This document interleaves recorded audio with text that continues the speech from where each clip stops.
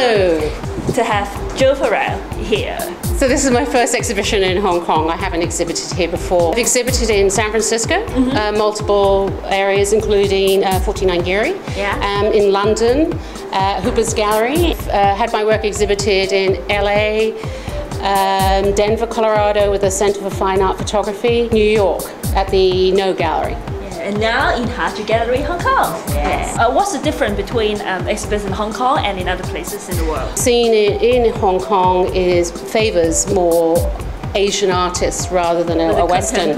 Yes, Chinese it's, it's Chinese, you know, contemporary Chinese artists, is of course in vogue and, and it's fantastic work. Mm-hmm. But it's um, there's a couple of places that will actually show more Western artists, but they will only show kind of like big names like Gilbert and George and. Uh, uh, anyone that has a history with yeah, you have uh, history exhibiting. and you get big names. Yes. So yeah, and you're the award winner. Yes, um, yeah. I've won multiple awards. Mm uh, mm-hmm. this year alone, I won the Jacob Riis Award for one of my bound feet uh, projects, yeah. Uh, photographs. I've also won the uh, International Women Photography Award, uh, which was created, judged by Mary Ellen Mark, who's one of my all-time favorite female photographer. So why you choose uh, China as a topic of um, this theme, uh, the Moon Pond reflection?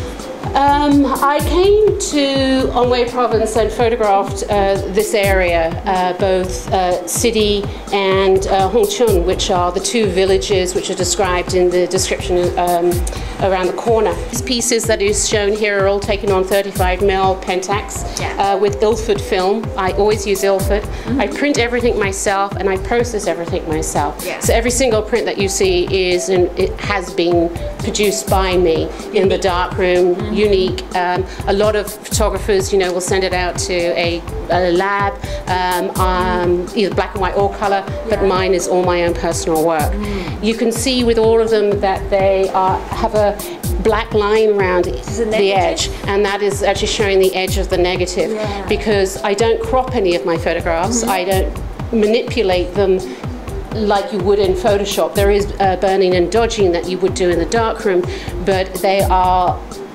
to a certain extent what I saw through the, the lens. Mm.